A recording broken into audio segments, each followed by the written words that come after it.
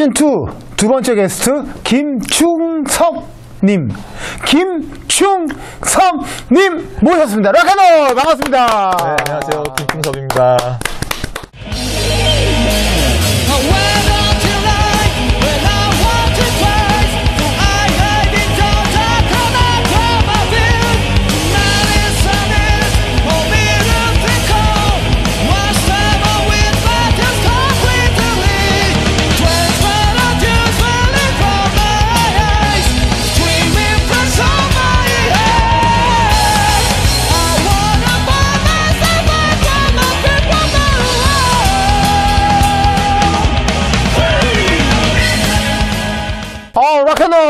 야 김충섭 씨 말대로 참 지하드의 김충섭의 20대는 정말 아름다운 것 같습니다 어, 보컬 톤이 되게 순수하네요 네, 그때는 어. 정말 건강하고 순수하고 어. 뭐 그랬습니다. 아, 건강하고 순수했던 네. 김충섭 씨의 이제 20대 초반에 밴드 지하드의 곡을 잘 감상하고 왔습니다. 그럼 김충섭 씨는 지하드 이후로 그러면 어떤 활동을 시작하게 된 건지 궁금합니다. 보컬 트레이너에 대한 공부를 좀 진행을 음. 하면서 보컬 트레이너로서 활동을 했고요. 그러다가 조금 늦은 나이지만 음. 좀더 음악을 멀리 봤을 때 공부를 좀 해야겠다. 왜냐하면 제가 전공 자체는 음악이 아니었기 때문에 음, 좀 전공으로서 음악을 공부하고 싶다는 생각에 무리하게 아, 늦은 나이에 이제 유학을 가서 어, 미국 헐리우드에 있는 이제 MI라는 오, 그 학교에 가서 보컬을 또 공부를 했습니다. 어, 어떤 계기로 30대 중반에 갑자기 물 건너 저 먼 나라에 가서 공부를 하겠다는 생각을 하셨어요? 보컬 트레이너를 하면서 또 저의 밴드 음악을 또 하고 싶었기 때문에 제 나름대로 밴드를 꾸려서 해봤는데 잘 안 됐어요. 잘 안 됐고 이대로 가다가는 내가 음악을 계속 못할 것 같다라는 위기감을 제가 느꼈거든요. 뭐 전공생도 아니고 그러니까 뭐 어떤 흔히 말하는 라인도 없고 어떤 일을 함에 있어서의 좀 장애물 허들이 되더라고요. 전공생이 아니라는 게 또. 그래서 공부를 해야겠다라고 마음을 먹고 원래는 한국에서 대학원을 갈까 하다가 음. 에, 이왕 이렇게 된 거 한번 도전해보자는 생각으로 영어도 못하는데 제가 도전을 한 거죠. 미국 유학을. 어, 그러면 자금은 어떻게 마련하셨는지 궁금합니다. 음. 그 돈이 많이 들잖아요, 유학은. 네, 돈 많이 들어요. 그러니까 네. 학비가 되게 비싼 학교였는데 사실 그래서 과연 내가 졸업을 다 하고 있, 있을까라는 데 걱정이 있었어요. 네, 제 쿼터, 쿼터로 이제 학비를 내는데, 아, 내가 과연 몇, 몇 쿼터, 6쿼터까지 해야 되는데, 6쿼터 다 할 수 있을까?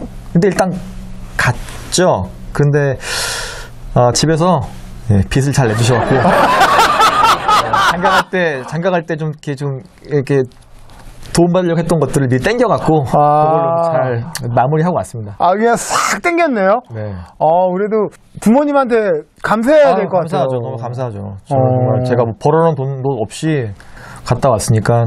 대신에 가서 그래서 정말 되게 힘들게 지냈어요. 그러니까 생활비를 아껴야 되니까 학비는 아낄 수가 없으니까 생활비를 아끼기 아. 위해서 되게 진짜 이, 이 공간만한 데서 4명, 5명에서 살면서 아. 그 월세를 아끼고 그 생활비를 아끼면 살았죠. 아, 개인적인 질문인데, 네. 네 명이서 네. 안 불편하셨나요? 불편한데 사실 저희 그 학교는 24시간 동안 연습실이 운영이 됐거든요. 그래서 그냥 연습하고 들어오면 잠밖에 안 자니까 이 네모난 방 귀퉁이에서 하나, 둘, 셋, 넷이 자는 거예요, 그냥. 음. 네, 그 신- 그냥 지저분하고 뭐 어쩌고 불편해도 일단 학교를 다닐 수 있는 것만 해도 너무 감사했기 때문에 아. 지냈습니다. 미국에 갔을 때 행복하셨나요? 처음엔 힘들었어요. 왜냐하면 영어를 너무, 너무 못했기 때문에 아무리 뭐 제가 대학을 나오고 했지만 저희 때는 영어 공부가 그냥 교과서 보거나 외우는 공부였지 말하는 공부는 아니었잖아요. 음. 그러니까 저도 그러니까 들리는 건 좀 들렸는데 말은 전혀 할 수가 없었어요. 그래서 그게 너무 힘들었지만 그래도 그 외국 친구들이 영어 못하는 저 같은 외국인도 좀 잘 챙겨줘갖고 친구들도 많이 사귀었고 덕분에 재밌는 경험도 많이 하고 거기서 외국 친구들이랑 밴드도 결성해서 그쪽에서 공연도 다니고 되게 좋은 경험을 많이 했습니다. 그 한국이랑 미국이랑 차이점이 있으면 어떤 차이점이 있을까요? 음악적인. 한국은 어떤 뭐 연주를 할 때 틀리는 거에 대한 어- 음. 부담감이 굉장히 크거든요. 틀리면 라이브에서 내가 틀렸다 그거는 되게 실력이 없다라고 이제 생각을 해버리는 음. 경우들이 많은데 제가 학교에서 경험한 거는 얘네들은 틀리는 것도 그냥 과정이거나 경험이라 생각하지 그거 한 번 실수했다고 내 공연이 망쳤다 이런 생각을 안 하더라고요. 오히려 무대에서 어떻게 하면 더 관객을 즐겁게 해줄 것이냐. 그래서 어떻게 올라가기 전에 어떤 옷을 입고 어떤 메이크업을 하고 동선을 어떻게 움직이면서 우리가 이 공연을 재밌게 만들 것이냐. 이런 고민을 더 많이 하더라고요. 우리는 합주하면서 어떻게 하면 연주를 안 틀릴까를 고민한다면 음. 거기는 이 공연을 어떻게 즐겁게 만들 것이냐에 대한 고민을 하면서 막 그런 퍼포먼스에 굉장히 신경을 많이 썼거든요. 그리고 실제로 그런 사람들이 더 많은 호응을 받는 거예요. 음. 아무리 연주를 잘해도 그런 사람보다 조금 틀려고 조금 부족한 느낌이 있지만 공연 전체를 잘 꾸며서 사람들한테 정말 재미를 주는 사람들이 정말 인기가 많았거든요. 그래서 음. 그런 것들을 보면서 아 내가 한국에 돌아가면 저런 부분도 더 신경 쓰면서 음악을 해야겠다라는 생각을 많이 했죠. 하나의 쇼를 제대로 만드는 거네. 그렇죠, 멤버들이. 그렇죠. 예. 음, 제가 SNS를 찾아보니까 예전에 막 몸도 막 만드셨던데 그런 것도 또 그 하나의 과정인가요? 그렇죠. 네. 아무래도 보컬이면 프론트맨이기 때문에 또 보여줘야 되니까 노래도 중요하지만 나의 어떤 그 겉모습 이런 것도 좀 보여줄 필요가 있으니까 열심히 운동하고 뭐 해서 했죠. 음, 혹시 지금 음악 교육을 받는 지금 네. 대한민국의 키드들한테 네. 그래도 미국에서 음악 공부를 하고 오셨는데 뭐 조언 이래면 조언 그리고 또 유학을 꼭 추천한다라는 뭐 추천해 줄 수 있는 그런 조언들 좀 부탁드립니다. 락 그러니까 음악 키드들한테. 제가 수업 시간에 조금 놀랐던 건 뭐였냐면 수업 시간에 선생님이 뭐 이거 해볼 사람 물어봐요. 그러면 한국 친구들이나 동양인 친구들은 잘 손을 안 들어요. 음. 왜냐하면 내가 완벽하게 준비가 되지 않으면 뭔가 보여주면 틀릴까봐 겁이 나서 손을 잘 안 들어요. 근데 외국 애들은 손을 막 들어요.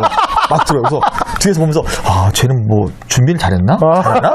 나가서 얘를 노래를 해요. 흑인이에요. 등치도 좋아요. 그래서 와 쟤는 잘하나 보다.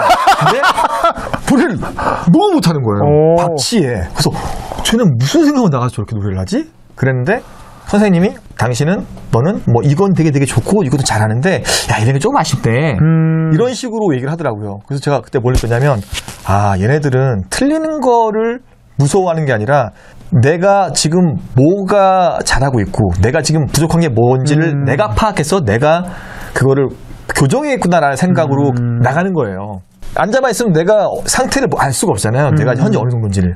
그러니까 그런 친구들을 보면서 아 지금 내가 배우는 학생으로서 뭔가 이렇게 부끄럽거나 그런 게 할 필요가 없다. 내가 한번 선생님한테 가서 정말 나의 상태를 확인하고 또 교정 받고 그리고 선생님들도 일단은 칭찬해요. 음. 어, 미국 선생님들은 와, 너 진짜 최고야. 정말. 어, 야. 근데 이건 조금 아쉬워. 음. 이렇게 얘기를 하더라고요. 그래서 아, 가르치는 것도 좀 저런 식으로 가르치는 게 훨씬 더 좋겠다라는 생각 들었고 그래서 저는 유학을 준비하시는 분들이 있다라면 음. 한 가지는 있어요. 옛날처럼 유학을 갔다 왔다고 해서 유학파라고 해서 인정해주는 분위기는 이제는 아닌 것 같아요. 음. 네, 그래서 그건 거를 기대하는 게 아니시라면 분명히 나가서 배울 수 있는 것들, 경험하는 것들, 그 시야가 넓어지는 것들 분명히 있거든요. 그래서 저는 어, 여유가 되신다면 또는 여유가 없더라도 젊으니까 음. 전 늦게 갔으니까 좀 그렇지만 일찍 준비하신다면 아르바이트를 하- 한다든지 뭐 여러 가지 그런 것들을 강구해서 꼭 한번 일정 기간 외국에 나가서 좀 공부하고 경험해 보시기를 저는 좀 추천해 드리는 어. 네. 아, 락앤롤. 아, 지금 우리 김충섭 씨 제가 얘기를 들으니까 저도 언젠가부터 젊었을 때는 저도 진짜 소위 말해 바보였거든. 그 사람이 못하는 부분만 보였어요, 한국에서. 아, 쟤는 왜 저렇게 하지? 근데 이제 저도 많은 경험을 하고 나이를 먹으니까 못하는 게 이만큼 커도 이 잘하는 이 장점이 보이기 시작하더라고요 개인적으로 이거를 장점을 더 키우면 아 이 사람은 정말 더 잘하겠다 근데 대한민국이란 나라는 그 단점을 너무 부각시키는 것 같아요 네, 정말 네. 교육 과정에서 네네네. 음악 말고도 네네 맞아요. 예. 그 장점을 부각시켜서 그 단점을 카바라 그러나? 그렇게 카바할 수 있고 그 단점을 줄이고 장점을 극대화시킬 수 있는데 그 부분이 솔직히 저도 많이 아쉬웠어요. 대한민국에서는. 근데 지금은 아무리 뭘뭐 음악적인 거 말, 말고라도 이렇게 사람들을 보고 아이들을 보면 어, 단점이 있지만 그 장점 보면은 어, 굉장하더라고요. 제- 이게 광범위하게 보이더라고요. 외국에 이제 나갔다 오면 소위 물 건너 갔다 오면 많이 발전이 되는구나 그런 생각이 저도 들긴 들더라고요. 네. 혹시 우리 시청자분께 미국 그 유학 생활 때 네. 하면서 이제 김충섭 씨가 활동했던 뭐 밴드든 솔로든 어 그때 했던 뭐 라이브도 좋고 뭐 음원도 좋고. 어, 소개시켜 드릴 뭐 곡이 있나요? 아, 네. 그, 제가 학교에서 조금 특이한 케이스였어요. 그러니까 미국에서도 락이나 메탈 이런 음. 음. 락이 트렌드가 아니었기 때문에 노래를, 그런 노래를 하는 사람이 거의 없었거든요. 다 음. 뭐 어디에 힙합가 있고, 뭐, R&B가 있고 막 뭐 이러니까 재즈가 있고 그러니까 근데 저는 나이 나는 동양인이 가갖고 막 헤비메탈 락을 부르니까 신기했나 봐요. 음. 그, 그러다가 우연히 눈에 띄어서 외국 친구들이 하는 밴드의 오디션을 보게 됐고 음. 거기 발탁이 돼서 거기서 같이 이제 LA 지역 로컬 지역을 다니면서 음. 공연을 다니고 했습니다. 음, LA 로컬. 그래도 그거 굉장한 거잖아요. 어 사실 그러니까 제 자랑은 아닌데 실력이 아니에요. 왜냐면, 왜냐면요. 왜냐면 저희 같이 동양인들이 연주로 해서 외국 애들하고 팀을 하는 경우는 되게 많아요. 음. 연주를 잘하니까 동양인 친구들이 한국 친구들이 잘하니까. 근데 노래하는 친구들은 이런 영어적인 문제들도 많이 아. 있고 그- 그래서 보컬 하는 친구들이 없었어요. 음. 어떤 팀에도 학교 안에서 어떤 팀에도 노래하는 친구는 외국에서 외국의 친구들하고 하는 게 없었어요. 근데 제가 유일하게 동양인으로서 음. 그런 외국 친구들하고 같이 밴드를 한 거거든요. 어, 뭐좀 특이한 케이스였죠, 진짜. 어, 락앤롤. 아, 이거 진짜 박수 한번 쳐야 돼요. 아, 대단하시네요. 감사합니다. 어, 꿈의 무대 LA. 네. 예, 클럽? 그쵸, 네. 그, Universal Studio 안에 있는 CityWalk 음. 그쪽에서 공연도 했었고요. 그리고 정말 꿈의 어떤 무대 중에 하나인 Whisky a Go Go라는 음. Sunset Strip에 위치한 곳인데, 뭐 진짜 Van Halen, 아우. Mötley Crüe.